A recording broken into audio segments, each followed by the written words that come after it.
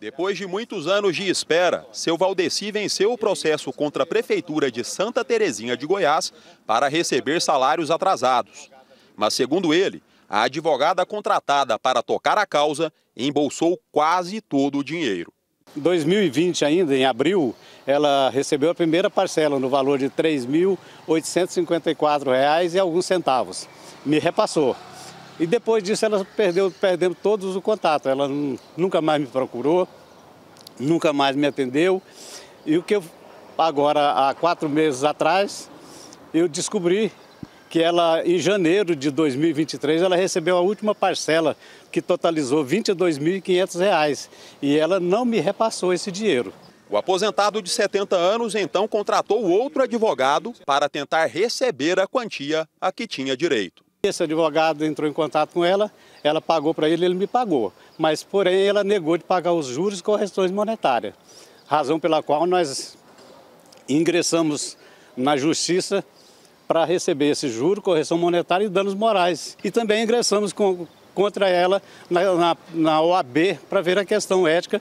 Um inquérito foi instaurado no 20 Distrito Policial de Goiânia para apurar suposta prática de crime. A advogada foi ouvida no dia 20 de setembro. Devidamente intimada, ela compareceu aqui na nossa unidade policial, alegou que os valores a título de precatório né, dos alvarás judiciais que foram levantados, que ingressaram em sua conta bancária, como ela já não trabalhava mais no escritório de advocacia em questão, ela alegou que desconhecia a origem desses valores, pensou que essas quantias que ingressaram lá em cinco parcelas ao longo de dois, dois anos e meio eram relativas às suas atividades rotineiras como profissional da área. O inquérito foi concluído e remetido ao Poder Judiciário em 8 de outubro deste ano. A profissional foi indiciada. O crime apurado aqui foi o crime de apropriação indébita, cuja pena vai é, de reclusão de 1 a 4 anos, mas com a causa de aumento de pena de um terço, porque é, foi no exercício da atividade profissional. E também, mas é, aqui no, no, no bojo do nosso procedimento, houve a restituição dos valores, né? muito embora não atualizados monetariamente, mas houve sim um pagamento para a vítima por parte dessa investigada desses valores, o que dá o que nós chamamos de arrependimento posterior, que beneficia o autor do fato com a pena reduzida de um a dois terços.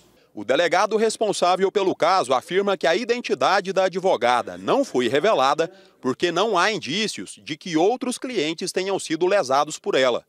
Fernando Martins dá dicas de como evitar uma situação como essa ao contratar os serviços de um advogado. A gente recomenda que a pessoa que tem algum precatório, algum haver é, oriundo do Poder Judiciário, que acompanhe, né, é, faça um acompanhamento pessoal desses, desses valores, desses alvarás, no próprio é, site do Poder Judiciário, né, no Departamento de Precatórios, bem como também, claro, né, contratando sempre profissionais idôneos, né, para que eles possam te dar a melhor orientação possível sobre, esse, sobre essas circunstâncias, dessas quantias que, porventura, são liberadas pelo Poder Judiciário.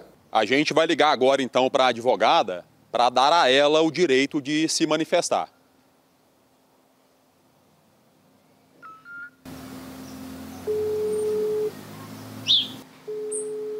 Grave seu recado agora. Foi para a caixa de mensagem. Vamos tentar mais uma vez, então.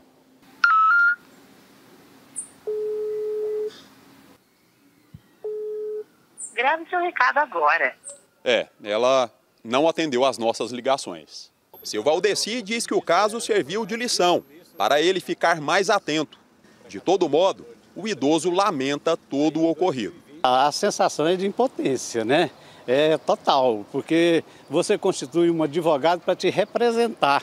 A partir do momento que você estabelece a procuração para ele, ele é o seu representante legal. Você perde todos os, os meios, só ele pode falar por você. Aí, de repente, você descobre, assim, aleatoriamente, que ele apropriou, recebeu o seu dinheiro e apropriou dele três anos e não te deu nenhuma satisfação. É triste, é horrível essa sensação.